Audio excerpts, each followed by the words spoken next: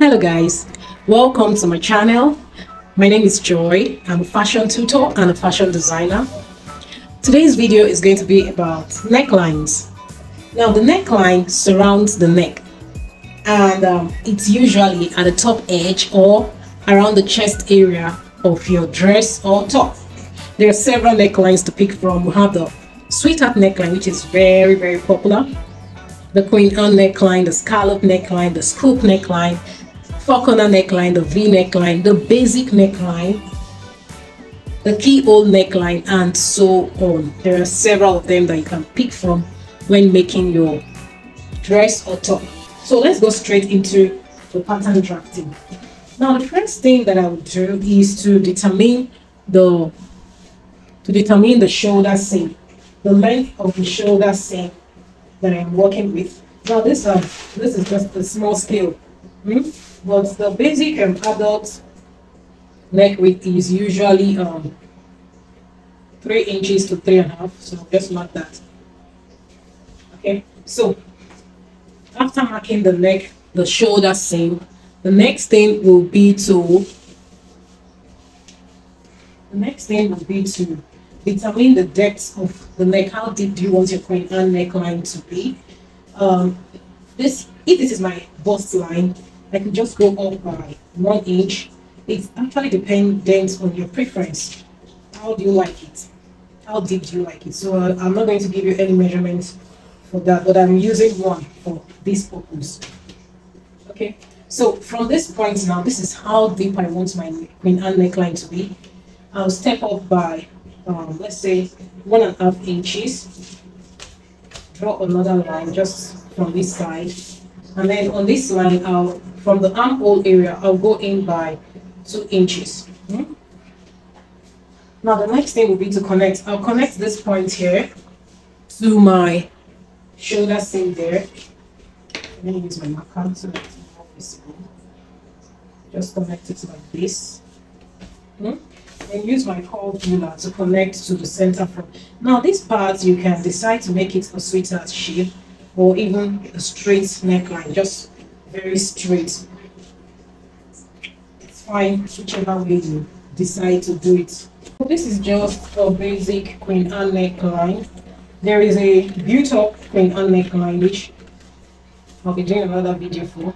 This one here is just is basic so this is what it looks like at the end of the day. Uh, Queen Anne neckline with a sweetheart at this part.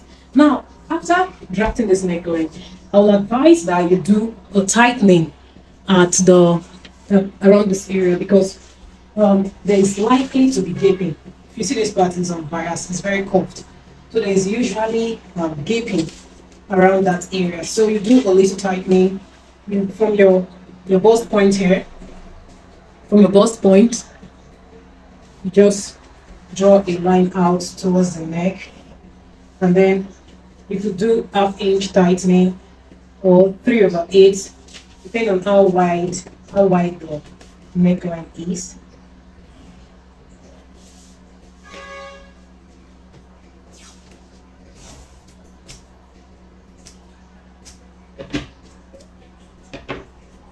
Okay, so this is my tightening just um, just do this, close it off. And um, if you need to redraw the neckline, please do that. Now, as you can see here is uh, popping up. So what you need to do is to open up the dart in order to transfer the excess to the waist dart. There's an excess from this part that needs to be transferred to the waist dart. Okay, just take it down. Now you can see that my my neckline has um, adjusted. So all you need to do is just to redraw and then you cut, cut out. Okay. So with this, my neckline is secured. Okay. So this is what I have.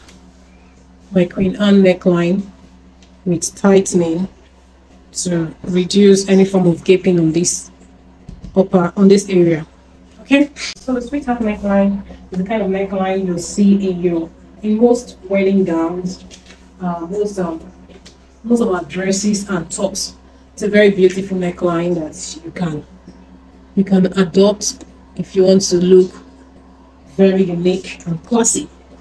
So how do we draft the sweetheart neckline? The first thing is to determine your shoulder seam.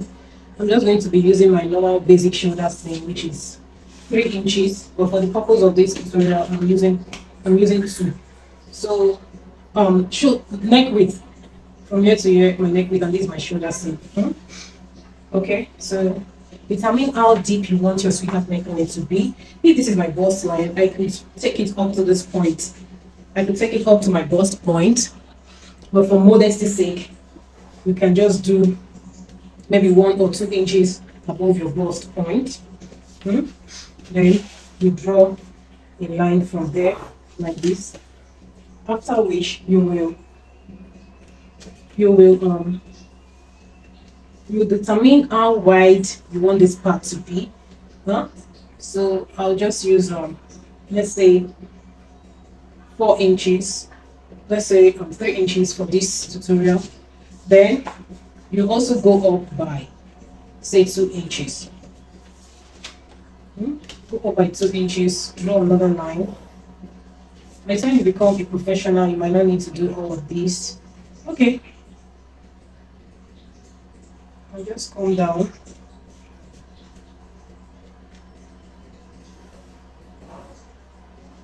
then connect connect like this from this point here. The next thing is to just cut it out.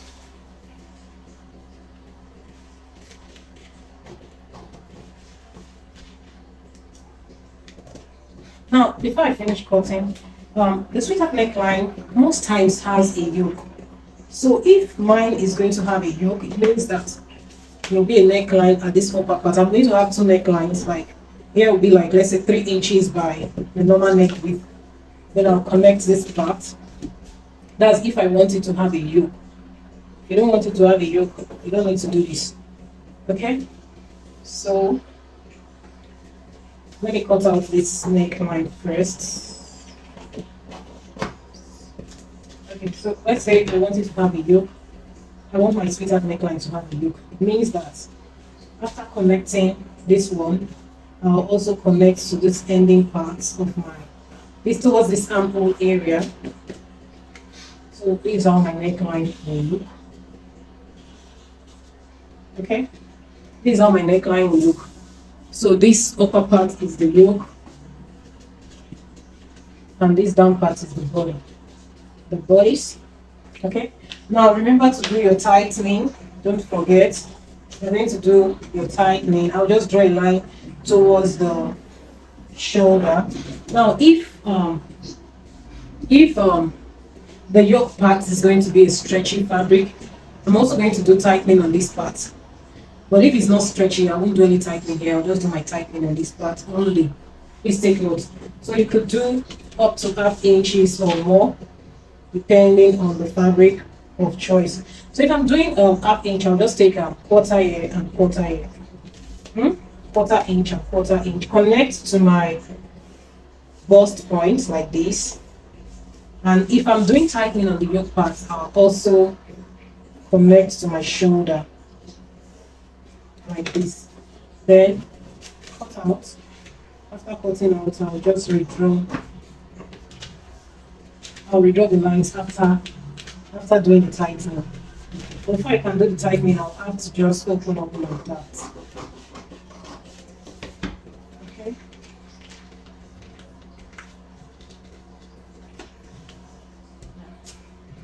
So just close it and then withdraw my neckline. Okay, so this is it. So if I'm doing tightening on the yoke, I'm just close it like this. That's if I'm using a very stretchy fabric so that the yoke part can also be fitted. Just do this. Okay. So this is what the yoke looks like right now. This is the yoke, and this is the main bodies hydroponics block. This is it. My sweetheart neckline and a yoke.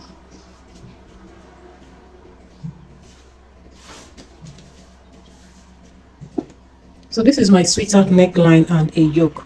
It's very easy to draft and um, you could add it to any of your dresses and you stand out and look very classy. Basically basic neckline for an average adult is usually three, three by three, three inches by three inches, or depending on the person's um, neck depth, you can measure, mm but three inches by three inches is standard for an average adult.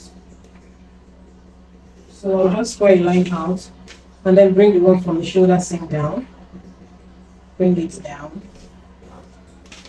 And then connect with a curve to form my basic neckline that I can add to my shirts, to my dresses, and whatever I'm making, whatever I'm making that requires a basic neckline. This curved ruler is not giving me the shape that I want. That's why I'm using this one right now. Okay, so this is neckline. Then we just go. There's no tightening on the basic neckline. It's quite high up the neck, so you don't need any tightening. So this is the basic neckline, very easy to make. You can add it to your shirt, you can add it to your dress, to your tops, or whatever you, you're making that you don't want a very busy or just want something simple. Go for the basic neckline, okay? V neckline, very popular neckline. See it on, on um, is it is it scrub they call it? That neckline on most of our nurses and uh, those healthcare practitioners you see in the hospitals. You see that V neckline. Hmm? Very easy neckline to make.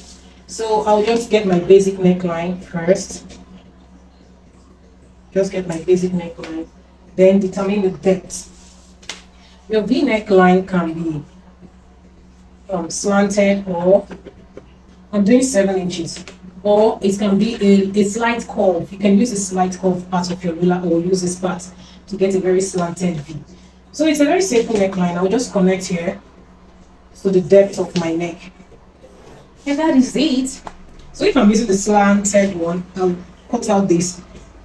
But if I want the slight curve, which is a bit more stylish, a bit more stylish than the slanted curve, I'll use this part of my ruler. So I'll cut the two of them for you to see. And you, you decide which one you prefer.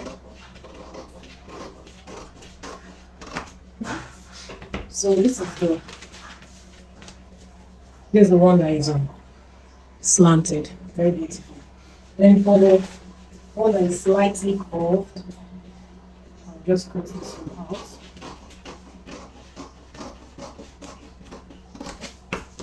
Okay. So This one looks wider than the first one. So this is another kind of v-neck. Now remember to do your tightening, very important. Please do your tightening as the neck line gets deeper. Ensure to do tightening. So for this one, just a very small thing I'll be taking out. I'll just do half a eh, quarter inch. Quarter inch is okay. Connect to my bust points. Just to avoid gaping. Now, I'm not touching the shoulder area because I didn't touch the shoulder when drafting the neckline. Now, this is just a basic V neckline. I could also decide to reduce the shoulder seam. Okay, let me do that so that you see the beauty. So I'm just taking out two inches. Now this one is going to be very, very wide. Very wide deep neckline, a V neckline. So let me just connect like this. Now as long as I've touched the shoulder area, I'm going to do shoulder tightening. I'll just come down by quarter inch. Then connect to my shoulder tip here. And cut out this part. And then um, it's a bit deeper than it was before. So my tightening will increase a little bit by one eight. I'm doing a 3 8 tightening. I'm doing a 3 8 tightening. Okay? So I'll cut now. I'll cut out the neckline. I'll cut out this on the shoulder and close my tightening. But before I do that, I just open my dart so I can transfer the excess to the waist. Just close it like this. It's very small. And take it down. And we draw the line I'll just withdraw the line like this. I'll out this excess. I have my slanted V neckline with the shoulder seam reduced. So this is it. The keyhole neckline is a very popular neckline in recent times. Yeah, very popular. Now it has two parts, the yoke part and the bodice part. So the first thing that I'll do is to determine the depth of my neck. How deep do I want this part to be? So I'll be using I'll be using six inches. Hmm? Then my basic neckline will also be there. I'll mark out my basic neckline, bring one up then my shoulder seam. Just decide how much you want, it's how deep you want it to be. Okay, so that's it. So I'm going to have my basic neckline here, first of all. Then for the keyhole area, how much, what's the depth, the distance you want for the yoke?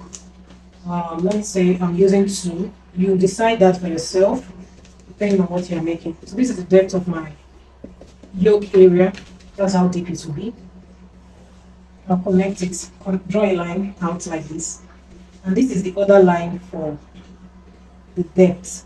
This is looking a bit small, but I believe if you're drafting yours, you'll be using a full scale, so it will come out looking better than this.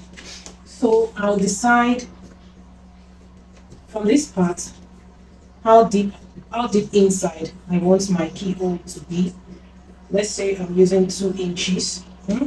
So I have a line here, two inches. Okay, then I'll divide this part into two. This is one and a half, so I'll get uh, three over three over four.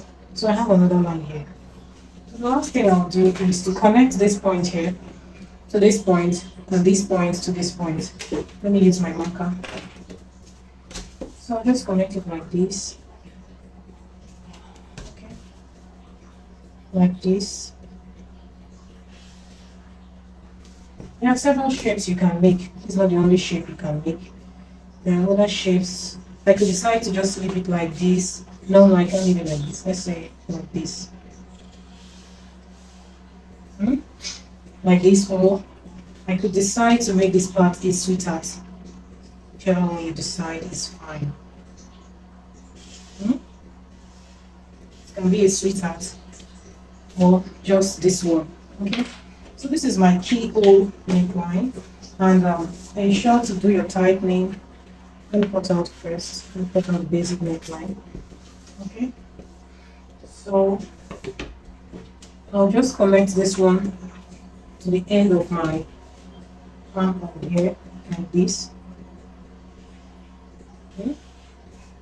Okay. Then do my tightening. We'll be doing, okay, now just watch closely. We'll be doing a tightening on this one, on this body part, and on the yoke. Now the yoke is a very stable fabric, I won't bother myself with any tightening. But I'll do a tightening on this one towards this area like this. Just connect here. Hmm? Then whatever tightening you are doing, let's say I'm doing I'm doing a tightening of a quarter inch like this. Quarter inch. Okay, so I'm not doing any tightening on this part. This is the yoke, and this is the bodice. Okay, so let me cut out the yoke area first. Hmm? That's the yoke. Then, um, let's say I decide to use this one on the bottom part. I just want to do something creative. Okay, so just do my tightening, lock it up, open up my guards, and then close this area.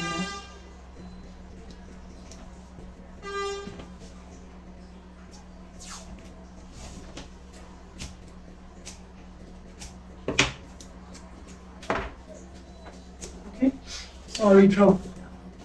I just have to redraw. Redraw the curve.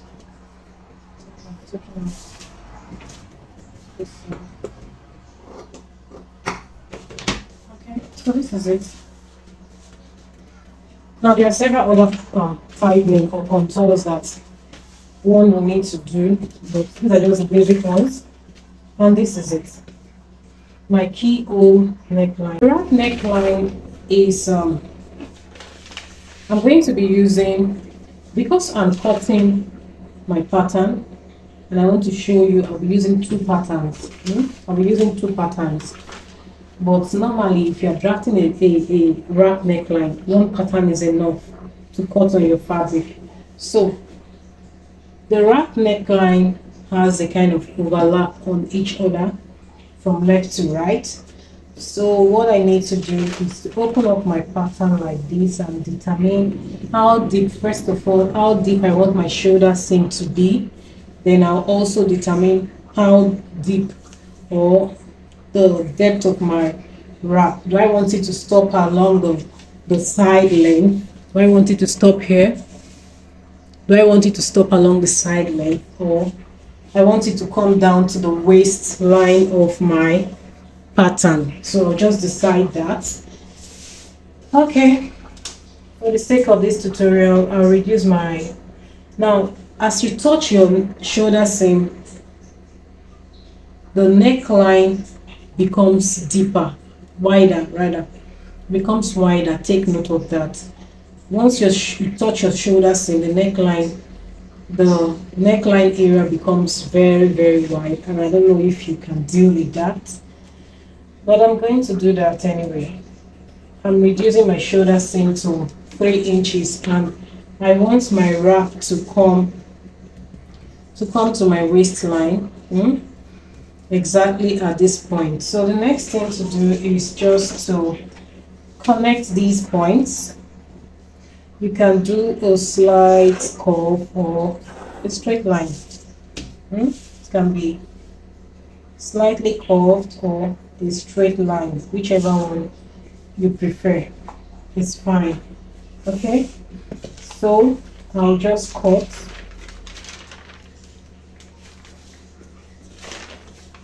I'll cut two because I want to show you the final look. So let me cut first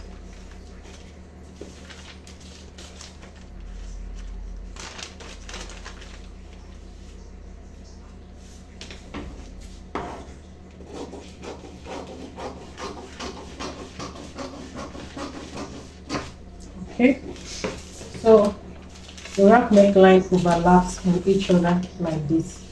This is one and this is two. Okay? Hmm? but that's not all. There is likely to be serious gaping around this area. The deeper it is the more cleavage you are showing. At this point i don't think anything will show. But as you come lower it's likely to be cleavage showing. So now um I need to tighten this line because it's quite um, it's unbiased and it has fabrics um, misbehave on bias grain. It's likely to be serious gaping. So I'll just do this. A very simple way of tightening. I'm taking out half inch full half inch hmm, from this side then on the shoulder seam, I'll just come down by quarter. Quarter is fine. To also prevent any form of gaping on the shoulder seam. Okay, so this is my basic tightening. I'll close it up.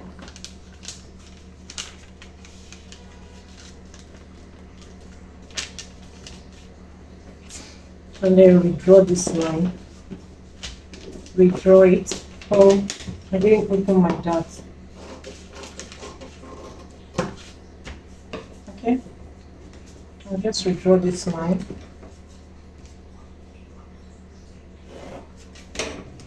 Cut off the excess.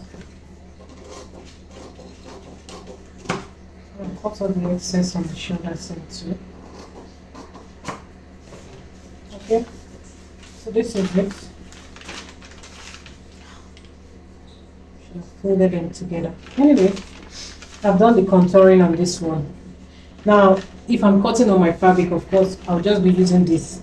I will not have to, I don't have to drag two patterns no one is enough hmm?